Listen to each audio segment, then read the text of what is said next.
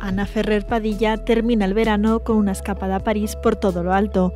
Después de un verano lleno de proyectos profesionales y viajes para presentar por toda la península su marca de ropa, toca cambiar de aires y la empresaria inicia una aventura muy especial. Así, siempre atenta con sus seguidores, la hija de Paz Padilla compartía una imagen suya frente al espejo con un look que le sienta fenomenal. Vestida totalmente de blanco, con un bonito bolso verde y una chaqueta negra, Ana se disponía a recorrer las calles de la capital francesa para visitar sus bonitos monumentos.